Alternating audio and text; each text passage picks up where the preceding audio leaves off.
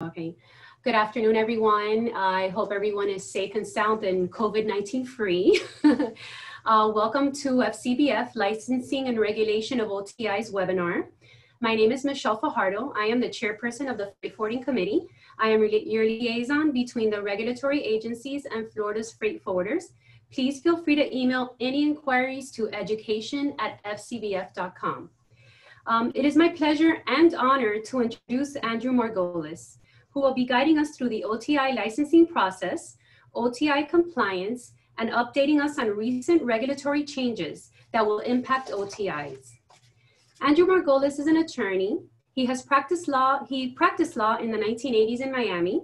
He joined the Federal Maritime Commission in 1986, became the FMC's South Florida area representative in 1995, and held that position until his retirement just last year in 2019. We are very honored that Mr. Margolis is sharing his vast experience with the Florida OTI community and those who are interested and considering applying for the license. So without further ado, we have here Mr. Andrew Margolis. Thank, thank you very much, Michelle, for that very nice uh, introduction. And thank you, Michelle and Megan, for putting this event together. Uh, I'm just going to start by saying that I'm going to cover the following areas. And each one deserves possibly an hour of time on their own. So I'm trying to pack hours of material into one hour, but I thought it would be a good idea to get an overview. Uh, some, some slides I was able to uh, show an entire um, set of regulations and some uh, because of lack of space uh, I just um, summarized. So one thing I would recommend is read the regulations in full, read the statute in full, especially the parts that I'm going to highlight today. So I'm going to go through the licensing requirements. Uh, not everyone um, who thinks they need a license needs a license. There are exceptions uh, to the law. To the law, uh, I will go over how to obtain the license, and then for those who are licensed, uh, there are duties and responsibilities um, that have to be followed. And of, of, course, anytime you have a regulation uh, to make people uh, comply, there are always prohibited acts and penalties that are possible to keep everyone in compliance. And finally, there was some very significant regulatory and statutory changes that um, many of which directly impact OTIs, and we'll go over those at the very end. Uh, although the FMC has um, authority, uh, uh, purview over more than just the following um, statute and the Code of Federal Regulations, these are the ones that you really have to focus on as an OTI. In particular, 46 CFR 515 uh, 520, 531, 532. 520, 31, and 32 would be for more for the NVOCCs, uh, 515 for the freight forwarders. One thing I would recommend is to become very familiar with and very friendly with fmc.gov, the FMC website. You're going to be able to find regulations and statutes and news releases.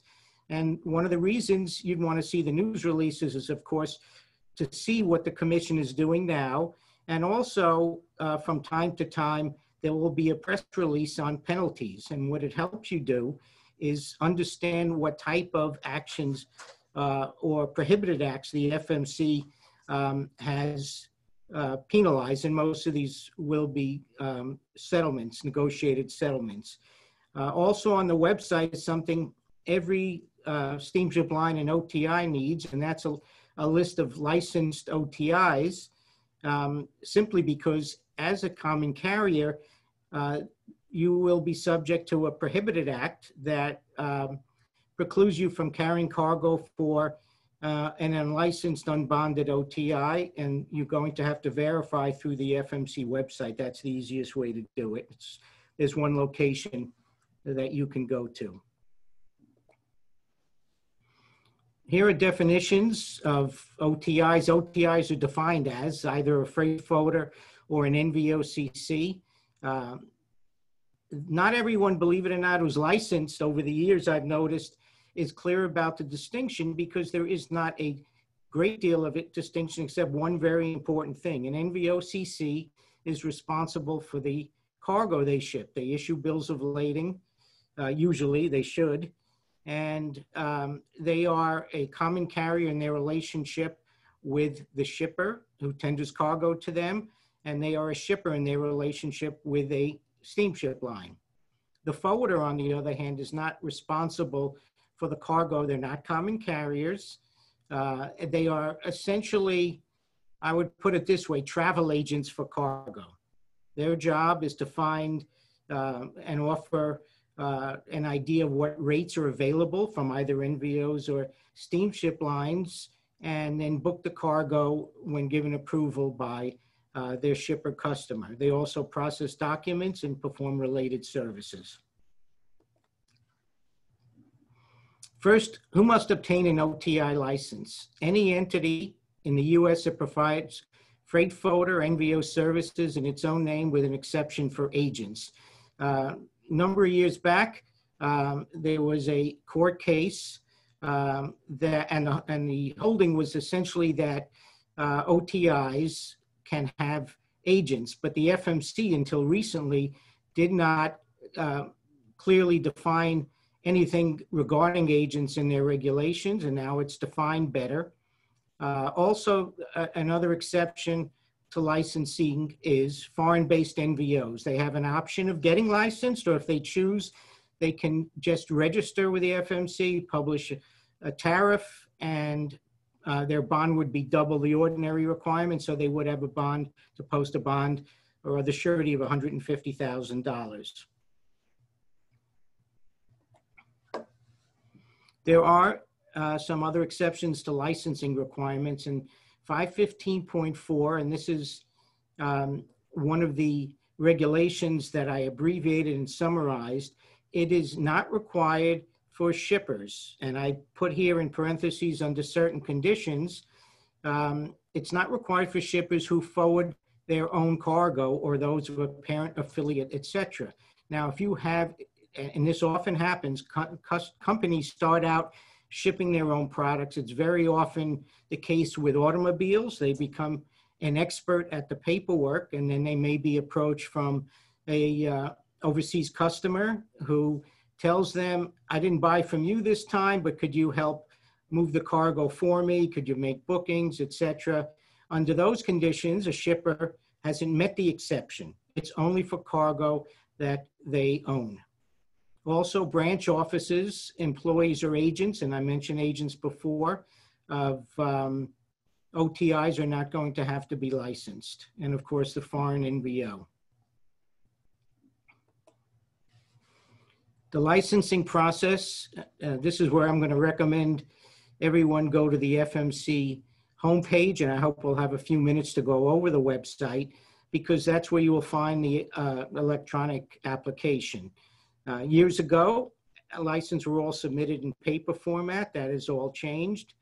And uh, the license fee dropped as well. It's, it, I think it used to be over $800 and application fees now $250 for the OTI license. Um, one thing I would add is if once you apply, there are changes in material facts, you have to report that to the FMC. The fee for changes that I listed um, as the final sentence on this slide um, pertains to OTIs that are licensed.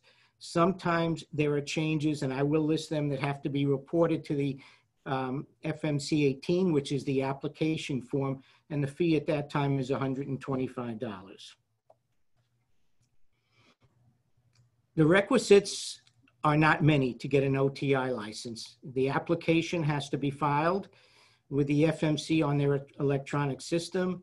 The fee has to be paid, and every um, applicant has to designate a qualifying individual. And a qualifying individual is someone who, um, although there are a number of um, ways you can apply as a corporation, as a partnership, as a sole proprietor, 99.5% it seemed to me were corporations. So therefore the qualifying individual uh, that's set forth on the application would have to be an officer of the corporation. a question that often comes up from those who are licensed or actually from qualifying individuals down the road is, and this seems to happen where there's some issue or dispute, the qualifying individual, uh, I have been asked, well, who has the license? Is it my license or is it the corporation? It belongs to the corporation. Here are some additional requisites to become an NVOCC. These are additional requirements that are not there for freight forwarders. Freight forwarders need the first two, $50,000 bond and the qualifying individual.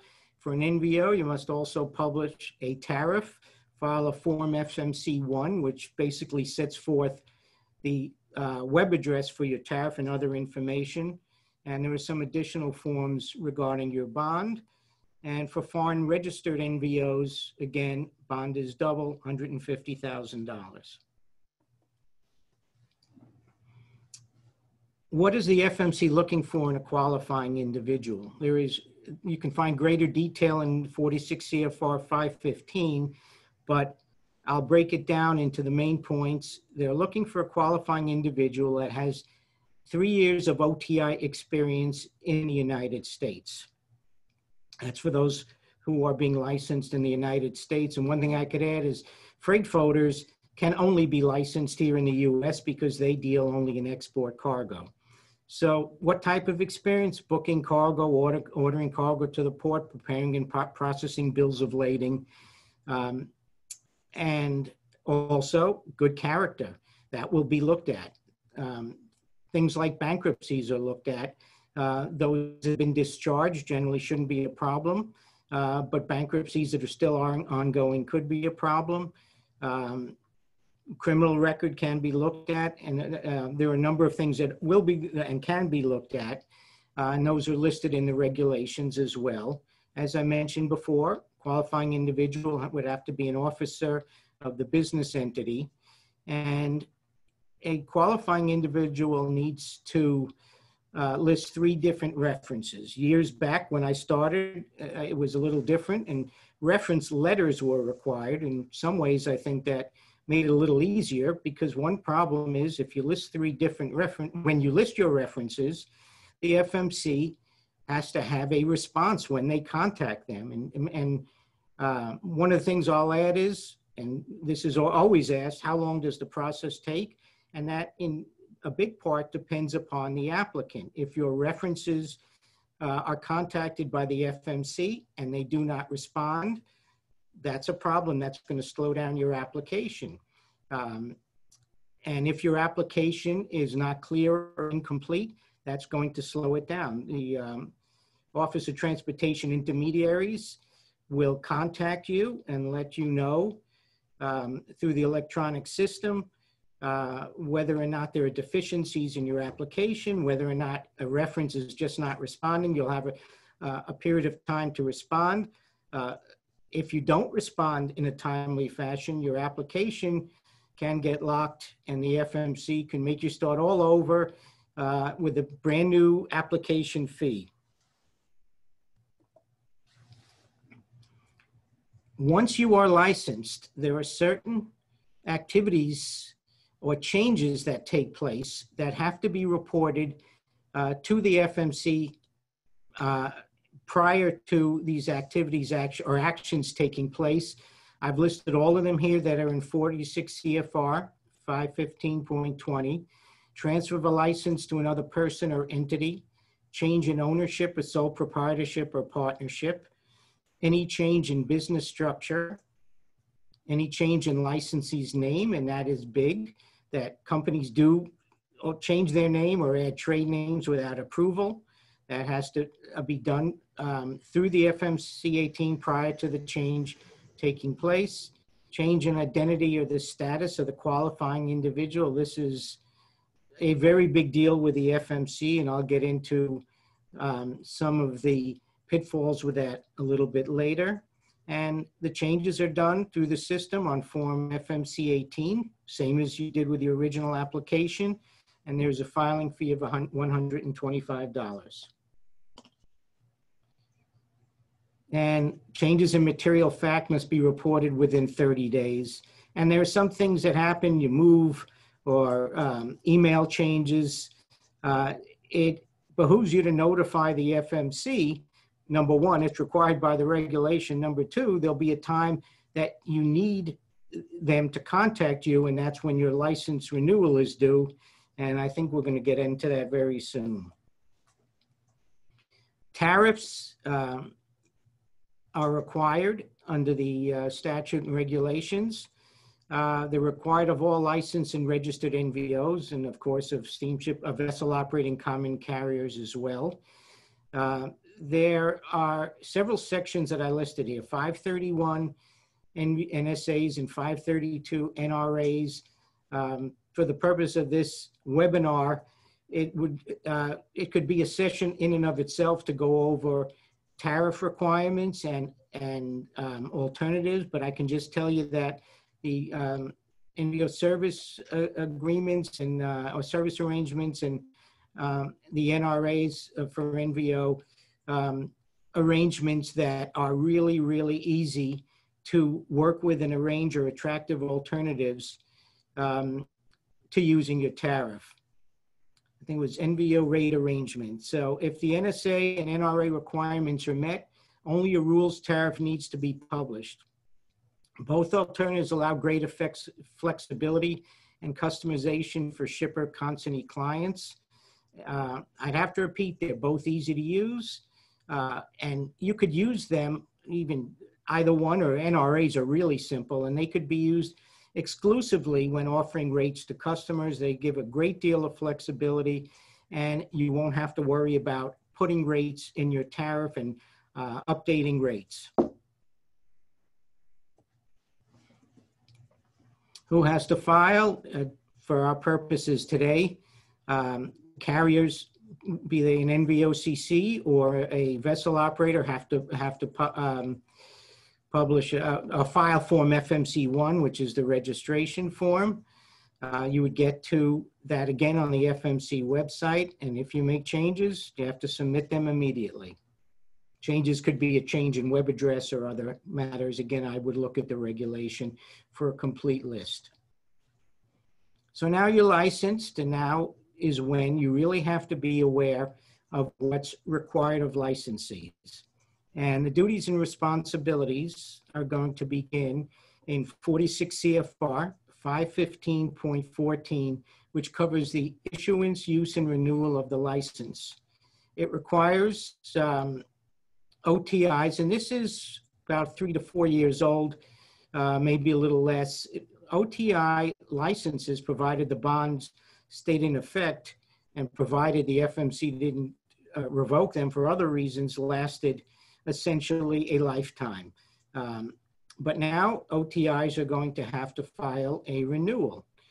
The reason you need to have your, up, your um, current email is because one of the ways you will know when it's your time is that the FMC will notify you in advance via email. There are, there is another way, and you can do it on the FMC website. You can just have, look at the last two digits of your license number, and there are, eh, there are guidelines right on the FMC um, website that will tell you uh, the month and the year your renewal is due. The regulation, um, one of the regulations that covers this is 515.14.3, where the, where the commission regulation states renewal not meant to reevaluate character of licensee, but FMC reserves that right. In fact, they pretty much reserve that right. Um, Anytime, this is the time, actually ahead of time, you should have um, filed an FMC 18 listing any changes that require prior approval. Um, But if you, when you look at your renewal and, and look at what you put down before, and if you forgot to do it, um, prior to issuing, uh, sending in and filling out that renewal, do file an FMC 18 with your changes.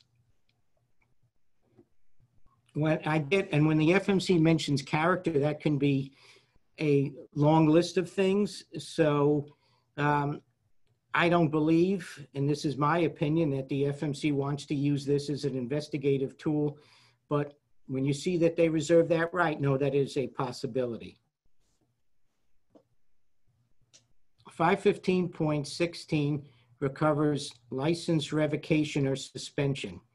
Uh, Commission has the ability to, of course, give a license and then take one away. Automatically, a license will be um, revoked upon termination of financial responsibility. And that is one of the, probably by far, the most frequent reason for a license revocation. You will have a period of time to refile your bond, and I think I'm going to get into that a little later when we talk about steps um, to avoid noncompliance. One of the other reasons the FMC revokes, uh, and they don't do this often, it takes some fair, pretty egregious activities, but it has happened that um, Shipping Act violations cause the FMC uh, to revoke a license. And if um, an OTI has an issue with a revocation, they may ask for a hearing.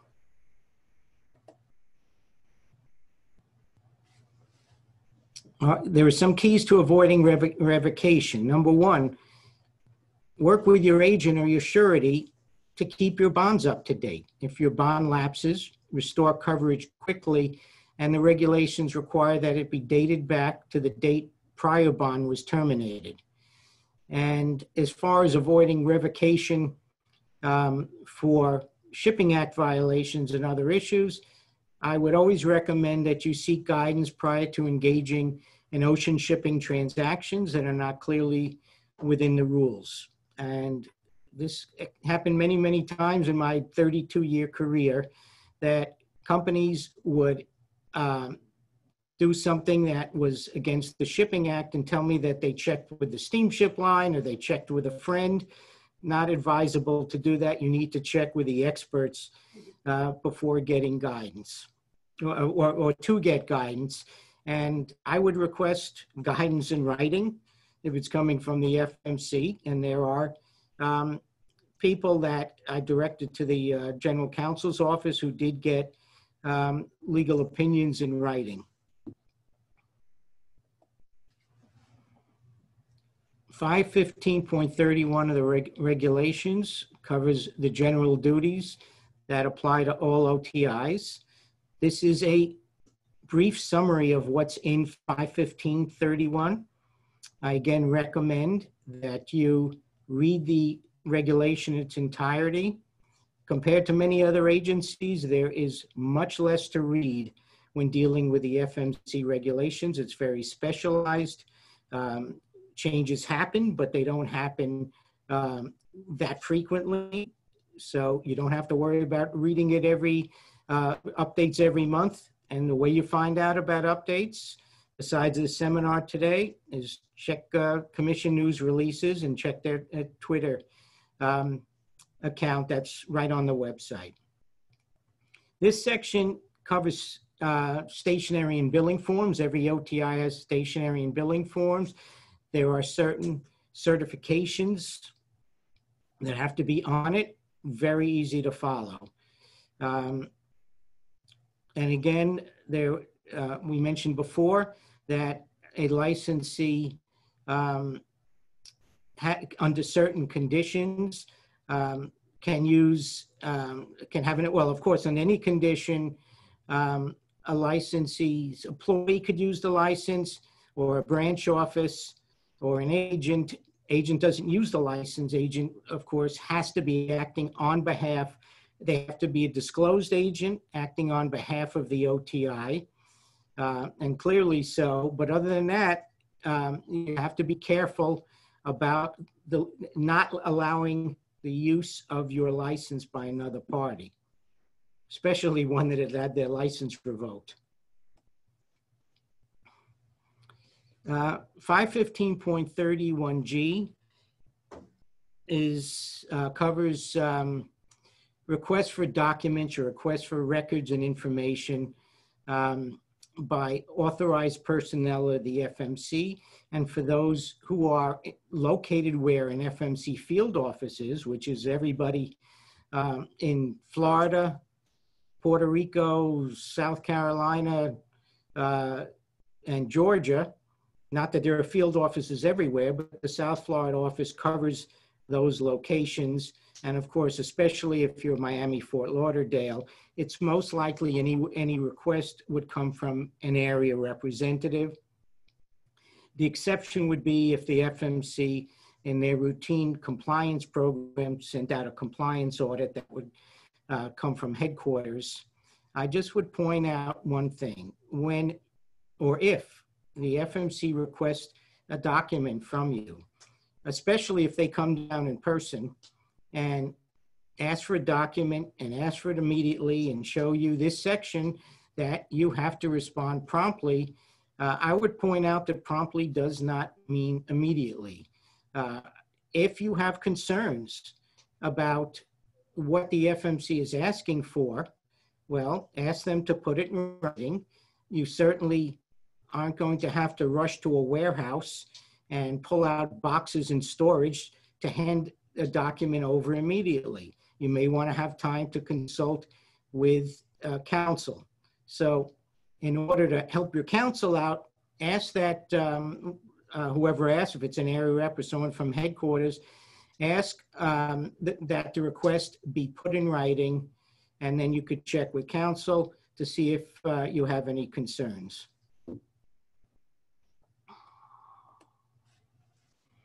Five fifteen point thirty-two applies uh, strictly to freight forwarders. They have their own duties separate from those of the NVOCC. And again, this is a summary. What is in this section uh, seeks to prevent unlicensed persons from benef- benefiting financially from a transaction handled by a licensee, and it protects customers. These, these are my words dishonest dealing and requires accuracy in doc preparation. One of the things that is required um, is a certification. I believe this goes on a billing form that states that you will provide a breakdown of charges to your customer so they know if you um, bill in bulk, lump sum bill, what it is you're being uh, invoiced for. Finally, we have record keeping requirements for all OTIs, NVOs, and freight forwarders. Uh, they must keep correct and current all records and books of account in connection to its OTI business. Uh, this is a, the modern era. Many people do keep things electronically, and that has that's okay according to the regulations.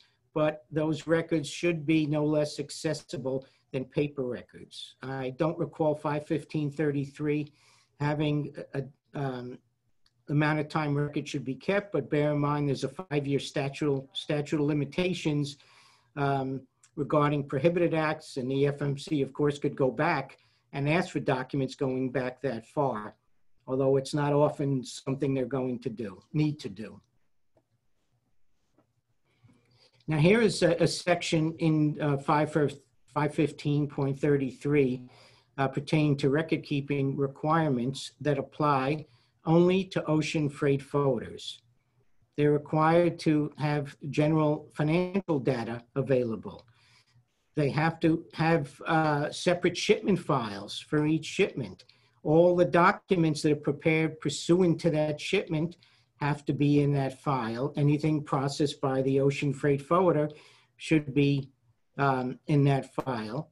They have to also keep a list of receipts and disbursements um, one of the things that could be asked for uh, is uh, financial data. What's coming into the company, what's going out of the company.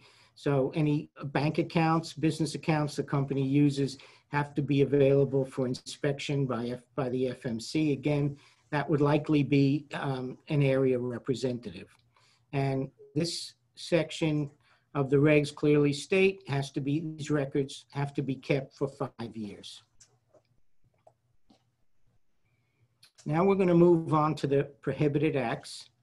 And the reason, of course, the FMC and the statute, the Shipping Act in 1984, as amended by the Ocean Shipping Reform Act of 1998, has prohibited acts is because we would really be in compliance without the possibility of a penalty. So I'm going to start in 46 U.S. Code 441102. A obtaining transportation at less than applicable rates. And this comes right from the, uh, right from um, the statute. A person may not knowingly and willfully, directly or indirectly, by means of false billing, false classification, false weighing, false report of weight, and other things, um, meaning an unjust or unfair device or means, obtain or attempt to obtain ocean transportation for property at less than the rates or charges that would otherwise apply. One key word I would look at here is the word person. It is meant and is meant, it is broad and it's meant to be broad. There is actually a definition um, in uh, the definition section of the statute and the regulations that, not sure which, but it may be in both, that list what a person is defined as. It could be a corporation, an individual, and about six other things. Um, So bear in mind, this is a, a- a statute that could be looked at broadly. So this type of malpractice can encompass more than just a company. And it's also broad in terms of the devices or means used to get a less than applicable ocean freight rate. Uh, Common over the years has been uh, a misdeclaration of the type of cargo to get a lower rate, misdeclaration of measurements of cargo, where a tariff for service contract calls for a um, freight, a freight to be determined by um, size or weight of the cargo. You could use your imagination about what other unjust or fair device means, but obviously, one has to be very careful. Um, As an NVO, um, and this could apply certainly to NVOs, uh, that are a shipper in their relationship with a vessel operating common carrier, or a shipper uh, directly dealing with a vessel operating common carrier or dealing with um, an NVOCC. There are additional prohibited acts in uh, 46 USC 41104A. And this, these are the flip side of the um, prohibited act I just, just discussed, which had to do with engaging in a device or means to obtain a, a less than applicable ocean freight rate, which of course could be uh, something in a contract, which is, you know, not 90%, and I'm guessing the number, but very close, of cargo moves under service contracts um, these days, uh, or it may be under a tariff rate is that, if that's what's applicable. Um, Just like a shipper should not be engaging in conduct to get a lower ocean freight rate, uh, a common carrier cannot be giving that um, ocean freight rate out that's less than applicable. So as you could see, and I believe this is uh, verbatim, right from the statute, uh, common carrier, either alone or in conjunction with any other person. And I think there are some additional words in there.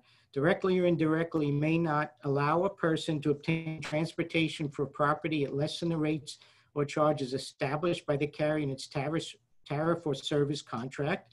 Service contracts would only apply to vessel operating common carriers, but of course, they, the exceptions would, could apply as well um, for NVOs as to rates they charge other than uh, tariff rates.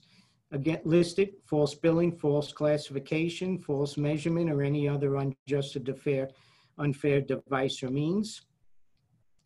And second part is very similar, provide service in a line of trade that is not in accordance with rates, charges, classifications, and rules, uh, rules and practices contained in a tariff uh, that's published or a service contract um, entered into a chapter 405 of this title, unless exempted, accepted or exempted, and you're not often going to find um, anything that's exempted or accepted.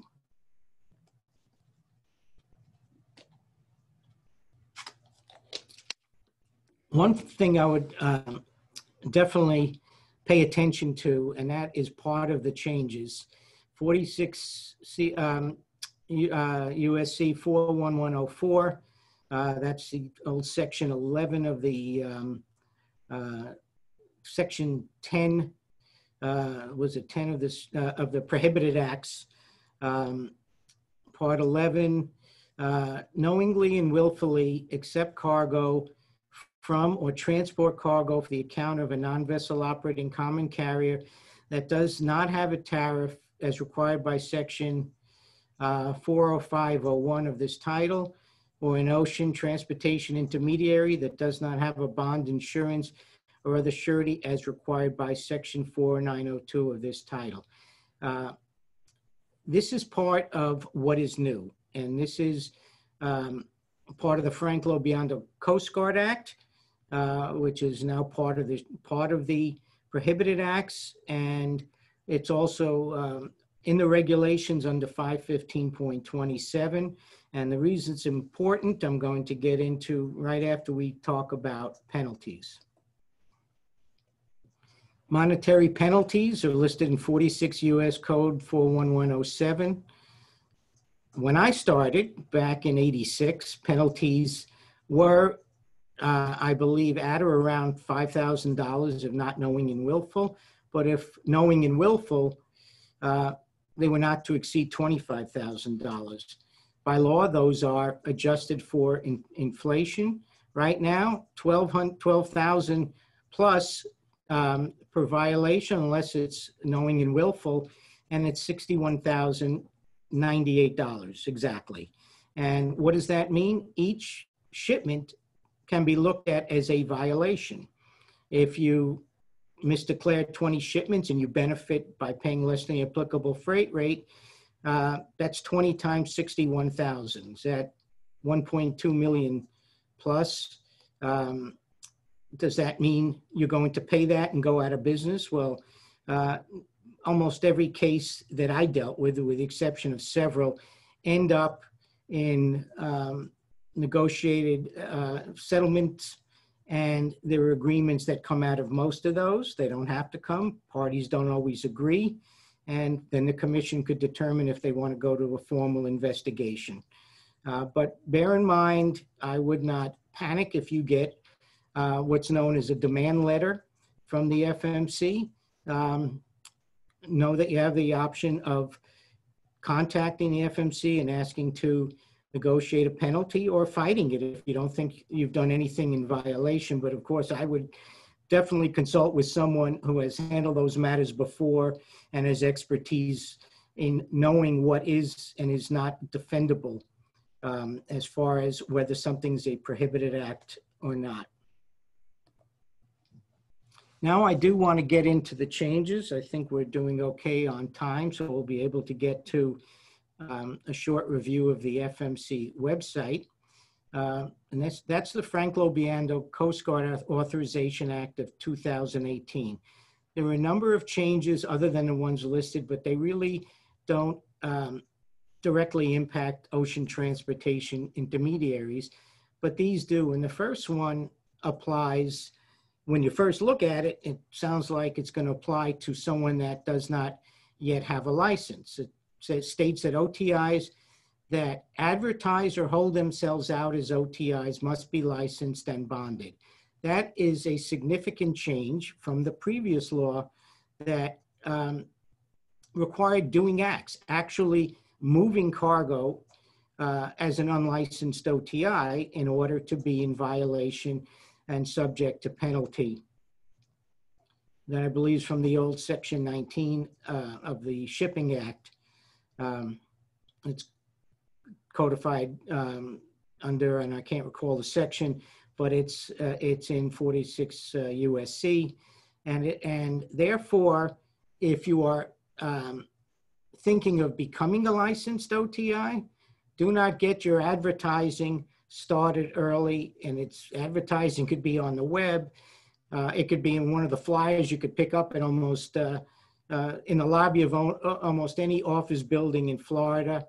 Uh, Handing out flyers, it could be a number of things, and that's what holding oneself out means. And uh, I don't know if this, these are, these are fairly new, these all um, were finalized and final rules done, I think, around March of this year. So it's hard to see how the FMC may um, interpret it or act according to this. But I would just be careful that um, if your bond is revoked and you were a licensee for many, many years or one year, and you lose your bond, I suppose this will, could affect a company that forgets to take their website down for the period that they are um, not licensed until they get their bond back and their license reinstated. And if it's not done timely, you're going to have to apply all over again, and the entire time you, you won't be licensed. And there's a second very significant change, and this was mentioned before, and it was the old 10B11 of the Shipping Act, the prohibition against knowingly and willfully accepting and carrying cargo for unlicensed unbonded OTIs includes both unlicensed freight forwarders and unlicensed unbonded NVOCCs. And to tell you how important it is, I'm going to need a drink before I describe the how much this could impact um, NVOCCs. And of course, steamship lines as well. Um, prior to this change, the language was read, um, read, read, that um, a common carrier could not carry cargo for a company that did not have a licensed tariff and bond. Since freight forwarders do not have tariffs, are not required to have tariffs, uh, every enforcement case I was aware of um, required that an NVO carry cargo for an unlicensed NVOCC, unlicensed would um, that doesn't include registered foreign NVOCCs. That's another matter. It does include them as far as receipt of unlicensed cargo. Um, so now the statute is different, and the statute also makes it unlawful for an NVO or steamship line to take accept cargo from an unlicensed freight forwarder. And that really, really makes the burden a lot easier for the FMC to prove a case. Before, um, and usually it's the area representatives doing the investigating, they are going to have to put together proof through documentation that a company is acting as an NVOCC, taking common carrier responsibility for the shipment and otherwise meeting the definition of what an NVOCC is. If they couldn't prove that, very often the case wouldn't be um, prosecuted by the FMC. But now it seems all you're going to have to, the FMC will have to show is you dealt with somebody that didn't have a license, didn't own the cargo, and was booking the cargo with you. That's what I would interpret this to be. Uh, I don't believe, at least publicly, I have not seen a single um, press release on any penalties. Uh, so it's hard to say how it will carry out, but that certainly would be the logical reading of this change to the statute. Uh, and also it's, it's uh, a change in the regulations. Um, one other change deals with agents and it makes clear that OTI licensing and responsi financial responsibility requirements do not apply to disclosed agents of OTIs, and the key word is disclosed.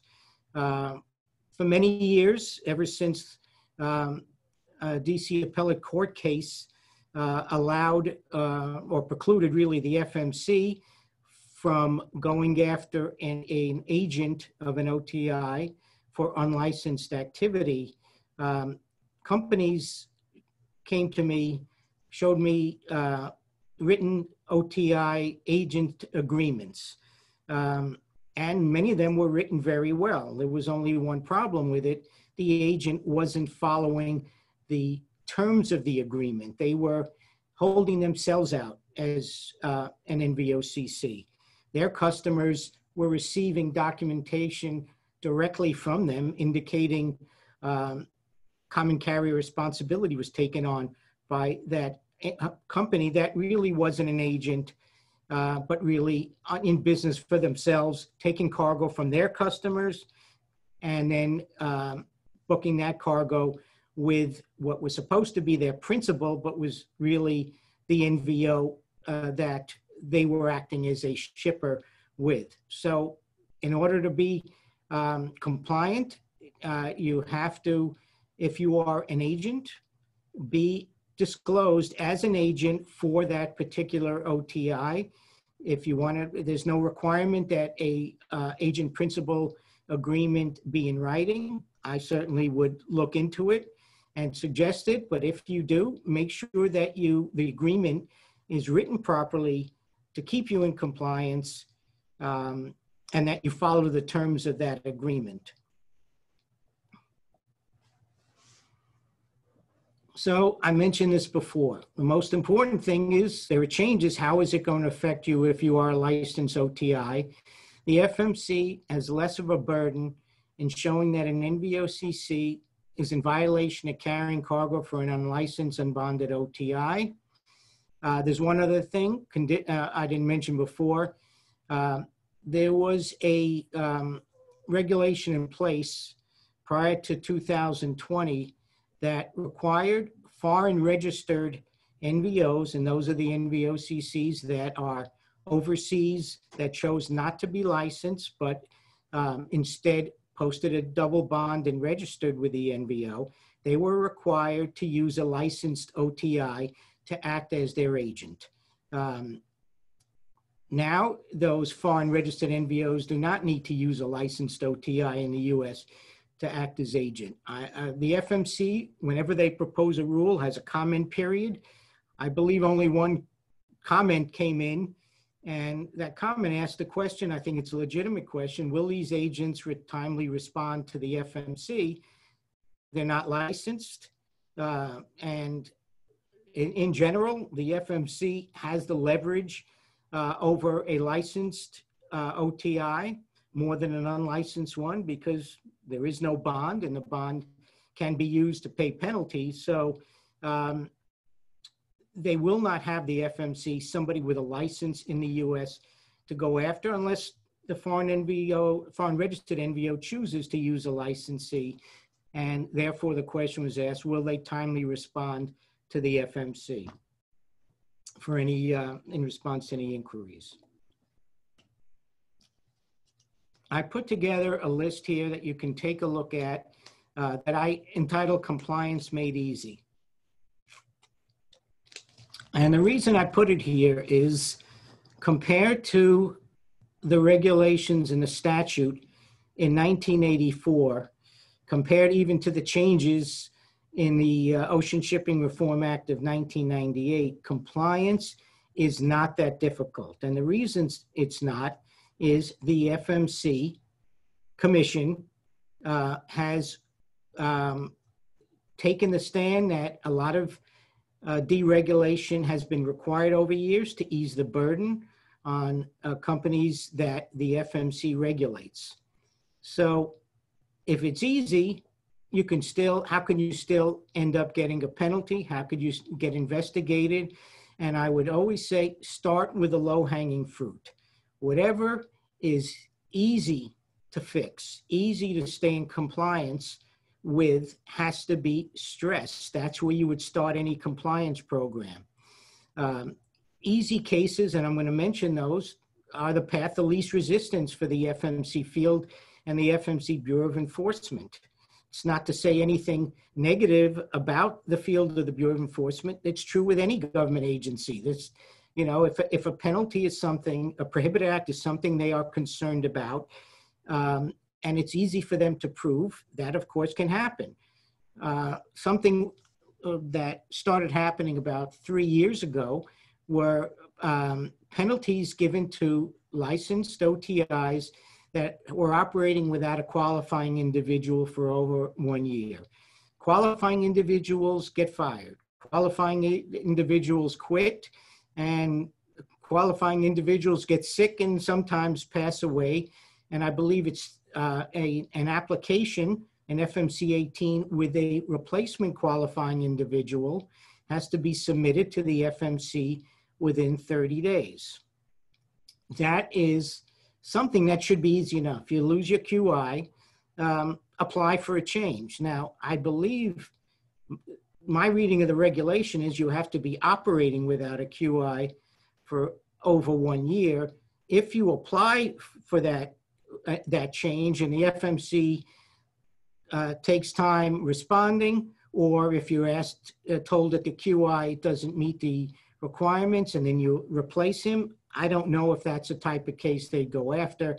But if you've done nothing, once your qualifying individual left and more than a year has gone by, um, then the FMC policy then, um, and that you could see, this is public knowledge, was right in the press releases, was that one year period of time.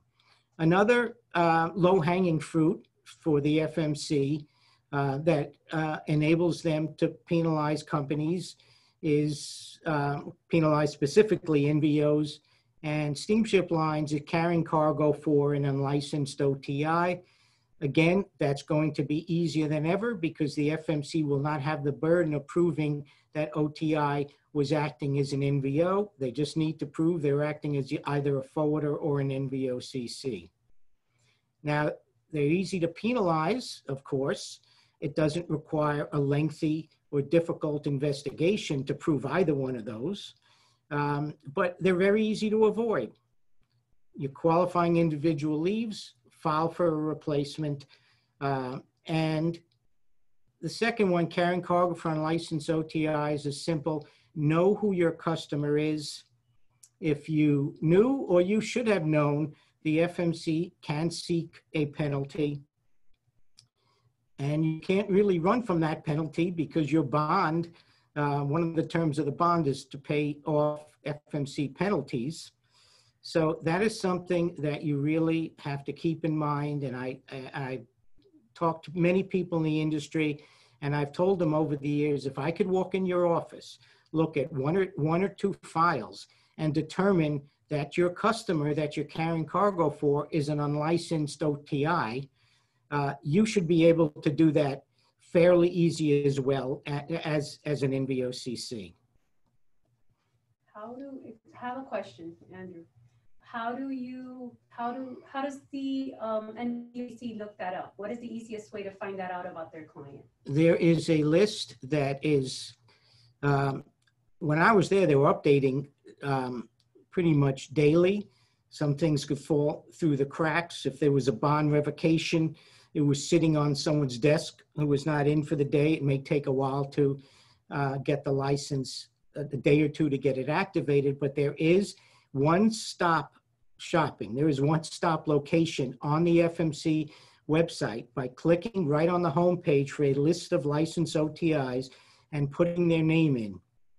Um, so that's something that um, you certainly can take um, take a look at And how often to should determine. the NVOCC check on that? How often? Once a year? Well, they're not, in, they, the FMC isn't going to uh, likely go after anybody who was carrying cargo and somebody um, lost their license uh, quickly. But for steamship lines, it's certainly required whenever there is an amendment to a service contract.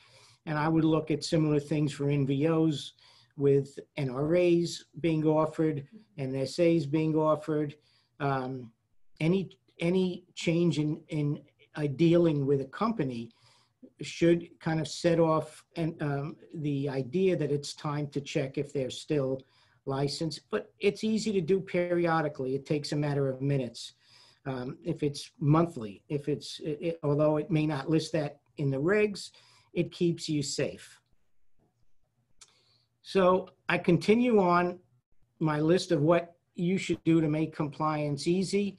And for those, I know many members are probably on this webinar, but for those who are considering it, I could say something that I never used to be able to say when I was a government employee, and that is to join the Florida Custom Brokers and Freight Forwarders Association. I couldn't take sides then. There were different associations around the country and a national, but I've always believed that this organization is an incredible asset to those who are in the industry and those seeking to be in the in the industry, putting on events like this, being there uh, for their members, uh, putting on larger events. And I haven't asked, but I wonder how that'll work out in the uh, era of COVID-19. They are a wonderful organization that puts out newsletters and updates, and, and, and they're a great asset to anybody who wants to be or is in this, in ocean transportation industry.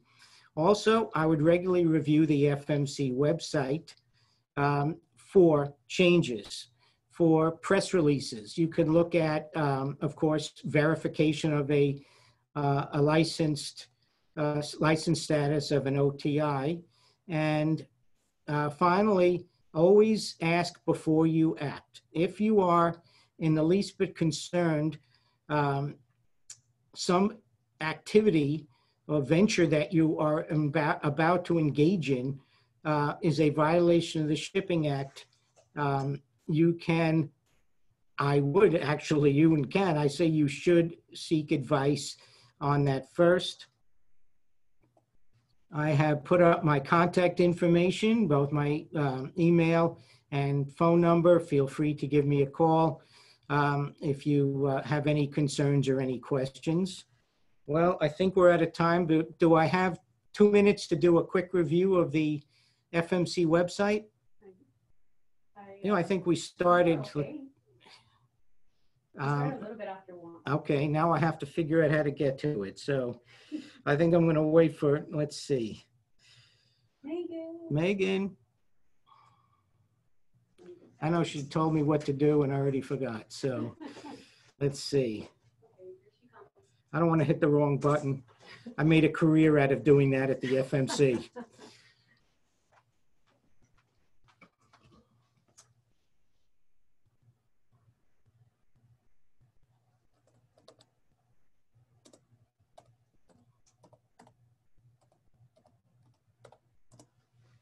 Thank you. You're so welcome. I'm going to just um, go over the website, which is really well uh, put together. It's very customer friendly, and most of everything you need to find out, you can start easily right on the homepage. There is not a lot of searching to do. Um, one of the things I mentioned before, go to the news releases. News releases are going to show you what's happening with F, with commission, meetings of the uh, commission. And that's where, usually it goes on, there it is.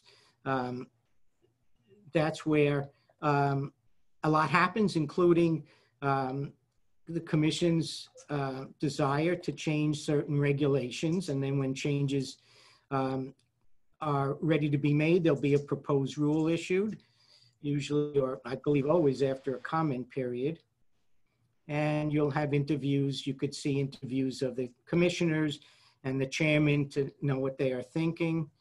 Um, statutes and the regulation, years ago, you had to pay for it. Uh, now, uh, by uh, going to the U.S. government printing office, here it is right there. Uh, the Shipping Act of 1984 is right here. The regulations 46 CFR 500 are here. You could even go to historical versions um, if you feel like it and see what changes have taken place over the years to make this um, industry, um, as far as FMC regulation go, much less regulation, much less regulated with much more flexibility. Um, databases, here, here we go, go to databases right at the top, and you could see the list of FMC licensed and bonded OTIs, which could help you verify you're dealing with a, um, a licensed um, entity. One thing I have to mention about receiving cargo um, from licensed, uh, unlicensed OTIs, be they freight forwarders or uh, NVOs, one thing to always be concerned out, concerned about is that whoever's tenured to you in the capacity of a shipper um, should be an NVOCC. And forwarders should be booking it um, with you with the name of the actual shipper in the shipper box. On a, um, on a bill of lading for an NVO or a steamship line, since NVOs could co-load, you may have the, another NVO in the shipper box. Um, and the same with the steamship line for freight forwarders. If they're booking cargo with you, the only time their name should be in there, I believe the regulation, uh, was uh, as agent for with a disclosed shipper principal. And there are a number of reasons um, that forwarders have to do that, especially for constantly generated cargo where there, where there are quite a, a few shippers um, that they're booking cargo for. Um, Andy, we have a couple of questions, uh, Sure. And one of them I think is is fitting now. But Luis Ruben is asking if you apply for an FMC license and then you don't use it for some time, will it still be active? Uh, It's, if, as long as your bond's in effect, it, it will be active. Um, There was a time without, and I don't know if the FMC is doing that now with all the changes, it's too soon. There were show cause orders uh, sent out for companies, for NVOs that didn't make any change to their tariff back in the days of tariffs. Um, Since NRAs, and I believe even no longer NSAs, NRAs never had to be filed, NSAs used to be, I don't believe they have anymore. Those changes the FMC's not looking for. But there were show cause orders to show why your license shouldn't be revoked then. I don't know, um, because of all the changes, how it'll work now. But generally, um, that didn't even happen often back uh, before these changes. Uh, But um, there really isn't a reason to do it because you're going to be paying for bond coverage. And many of these in, in insurance company that represent the sureties, they're not just going to want to sell you a bond, they're going to, um, and I've heard that, you know, they may make it contingent upon approval of the bond is other types of insurance like errors and omissions policies that are going to cost money. So if you're not using it, why not wait? And if there's a legitimate reason you have why you want to have it now, maybe you want to just have it set up just in case you want to go quickly. I understand doing it that way. And it really shouldn't be a problem um, if you keep your um, bond up to date. Okay. And then um, Mauricio is asking if there's any logic behind which companies are audited by the FMC, um, besides from complaints. So are they are they randomly selected? Is there a certain pattern? Well, I can tell you what I did, and um, obviously, it probably depends on the area representative. Area representatives do have a lot of discretion. I obviously knew a lot of people in this industry and still do, and I responded to complaints. Uh, I tried to make my cases um, about uh, activities or malpractice that gave a um, an OTI or a steamship line uh, a pronounced advantage over the competition. Um, so for me, it was complaints. Sometimes those complaints could be referred by headquarters if a complaint was made to them, but more often than not, the complaints would come to me, um, often from people I um, who knew me and trusted me. Because one thing you don't want to have happen is to tell anybody you're investigating the source of that investigation. Um, so you have to have a trust relationship. Um, and and, uh, FMC does have a routine compliance program. Uh, I don't know if it was filmed, but the uh, FCBF had a seminar in 2018, I believe, um, where the head of the Bureau of Enforcement, Ben Trogdon, and he's still the head of the Bureau of Enforcement, came down and discussed the routine compliance program, and it's not designed to be an investigative tool. I don't believe anywhere, you're not going to find that in writing, but that generally is um, the policy, it has been the policy. I've always found in my 32 years, the FMC um, to be a, an, um, in, uh, an agency that wants to work with the industry uh, and isn't looking uh, to nitpick about a penalty. They're looking for an activity that has gone on um, more than just a short period of time. They're looking for a pattern of activities. So I would say uh, most likely, most of the cases are going to be um, complaint driven. I can tell you that I'm sure the FMC, uh, especially now, you have um, nine area representatives, and the uh, I would say six or seven have two years or less with the FMC, maybe two years or less even dealing with the shipping industry. I met most of them. They're very bright and uh, they work hard and they are learning quickly. But of course, they haven't developed contacts yet. And but they are very good with databases, databases like Datamyne. And there is nothing in the statute that prevents them from doing routine audits based upon um, activities that they know uh, are a big source of violations. Some years back, and you could see a lot of penalties on it, um, there were many cases made against um, NVOs uh, that signed uh, what were known as named account contracts, where they could only um, ship cargo for certain named counts that were listed in the contract, but they'd ship for other companies. That could be determined using databases. So um, the FMC area reps didn't have to go um, get information directly. They had information that that was a common violation. It would be in a routine manner that they can find those who appear to be in violation and then open an investigation. Sure. Thank you for that. And that's, we have time for one more question.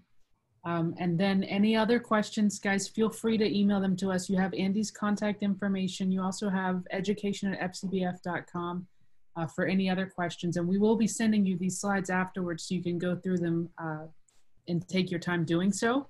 Um, but the last question we have is that I've heard through the rumor mill that there's no more tariff filing as of 2021. Is this true? Do you know Well, anything about that? I, I, I would not believe anything in the rumor mill. Um, the industry, those uh, who have to publish tariffs, um, meaning the NVOs and the steamship lines, uh, through various organizations, they have been pushing for this. Uh, I know there was talk at the FMC that it may not even be able to be done through a regu, um, a commission change to the regulations, uh, through, in other words, through a proposed rule. It may have to go, um, into the, the change has to take place by Congress, um, changing the statute that requires it. Uh, I, it is purely a rumor and you cannot trust rumors because it's going to take a consensus of the commission and there's an election in November, and the chairman may change if a Democrat wins.